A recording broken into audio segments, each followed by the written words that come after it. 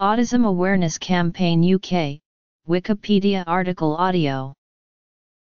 The Autism Awareness Campaign United Kingdom was launched in 2000 by British parents and carers Ivan Corea and his wife Charika Corea in response to the autism diagnosis of their son, Charin. According to their website, Autism Awareness Campaign United Kingdom was started in 2000 to campaign on behalf of parents, carers, children, and adults with autism and Asperger's syndrome, for better public services in health, education, specialist speech therapy and respite care, for independent research into the causes of autism, for greater public awareness on autism and Asperger's syndrome, as well as other areas where they believe there is a shortfall in public service provision. They have lobbied for greater awareness of the condition and for independent research on the causes of autism. Objectives Events The Autism Awareness Campaign of 2002 initiated debates in the Parliament of the UK and the Scottish Parliament for Autism Awareness Year, supported by 800 UK organisations including the British Institute of Brain Injured Children, the Disabilities Trust, Autism London, and the National Autistic Society. A major conference on autism was held at the King's Fund in London and the first ever service for autism was launched in 2002 by the couple who initiated Autism Sunday, it was held at St. Paul's Cathedral. Autism Sunday is now a massive worldwide event, celebrated in many countries.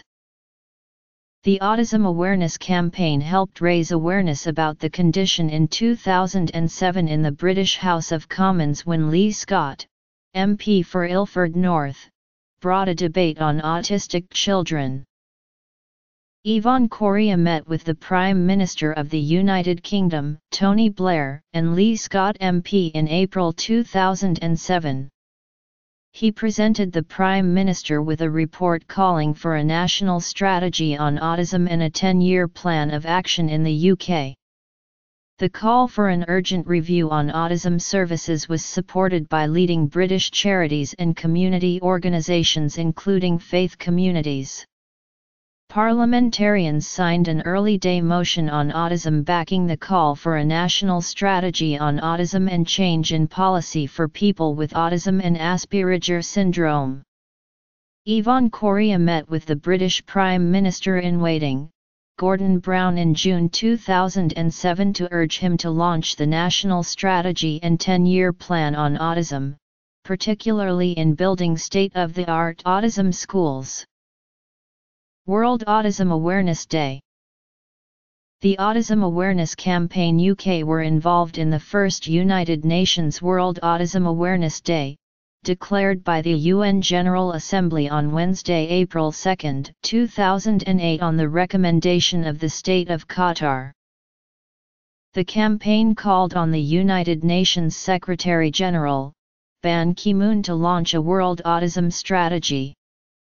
A CNN interview with presenter Max Foster was televised to mark World Autism Awareness Day on April 2, 2008.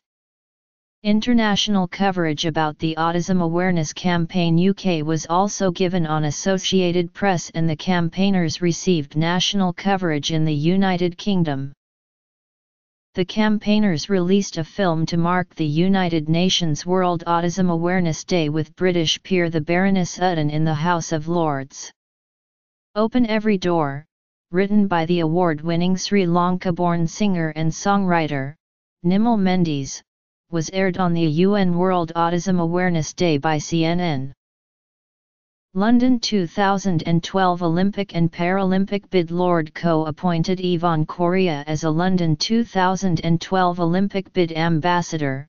The Autism Awareness Campaign UK were fully involved with the London 2012 Olympic and Paralympic bid.